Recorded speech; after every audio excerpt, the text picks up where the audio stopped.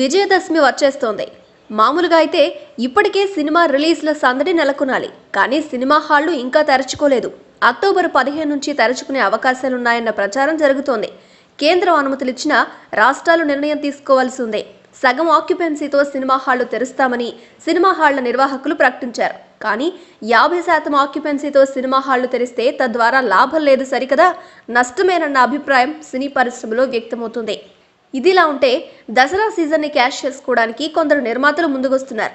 ఈ లిస్టులో తాజాగా రొమాంటిక్ సినిమా కూడా చేరిందన్నది ఇన్సైడ్ సోర్సెస్ కథనం. పూరి జగన్నాథ్ తనయుడు ఆకాష్ హీరోగా నటించాడు ఈ సినిమాలో. ముద్దుగుమ్మ కేతిక శర్మ ఈ సినిమాతో తెలుగు తెరపై తెరంగేట్రం చేస్తుంది. చార్మి పూరి జగన్నాథ్ ఈ చిత్రాన్ని నిర్మించారు.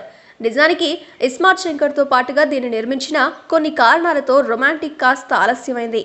ఈలోగా కరోనా రావడంతో అది మరింత వెనక్కు వెళ్ళింది.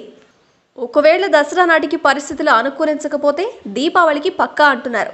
ఈ విషయమై ఇంకా అధికారిక ప్రకటన రావాల్సి ఉంది. ఒకవేళ సినిమా హాళ్ళలో వీలు కుదరకపోతే ఎటు ఓటీటీ ఆప్షన్ ఉండనే ఉంది కదా. మా వీడియో కానీ మీకు నచ్చినట్లయితే లైక్ చేయండి షేర్ చేయండి సబ్స్క్రైబ్ చేయండి.